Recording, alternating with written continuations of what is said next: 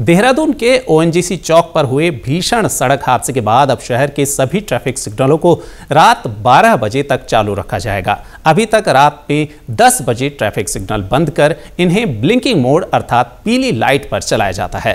रात के समय पुलिस इसकी निगरानी भी करेगी। वरिष्ठ पुलिस अधीक्षक देहरादून अजय सिंह ने बताया कि दून में अब रात 12 बजे तक ट्रैफ़िक सिग्नल खुले रहेंगे। इसके साथ ही हर चौक पर स्पीड ब्रेकर बनाए जाएँगे। प्रत्येक चौक पर स्पीड ब्रेकर बनने से दुर्घटनाओं की आशंका कम की जा सकती है।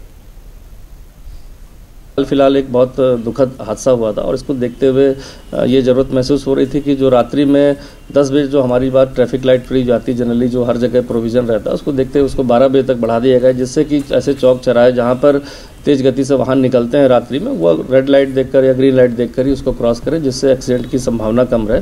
साथ ही साथ इसमें यह भी किया, अभी रोड सेफ्टी कमेटी की बैठक में जिलाधिकारी महोदय की अध्यक्षता में हुई थी, जिसमें ऐसे जगह जेबरा क्रॉसिंग जो मिट गए हैं रंबल स्ट्रिप्स बनाने की बात हुई, जहाँ पर यात्रा, गाड़ियाँ जो है थोड़ी देर रुके, ऐसे चौक चौराहों पर उनकी स्पीड पर नियंत्रण रहे।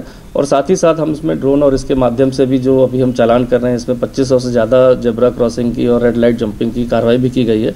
तो ये सभी प्रपोजल रोड सेफ्टी कमेटी में चले गए हैं। रेड लाइट का समय बढ़ा दिया गया। बाकी अन्य जो विभागों द्वारा किया जाना है जबरा लाइन फिर से बनाया जाना है रंबल स्ट्रिप लगाई जानी है, वो काम भी मुझे लगता है पंद्रह से बीस दिन के अंदर सभी ऐसे चौक चौराहों पर ये बन जाएगा।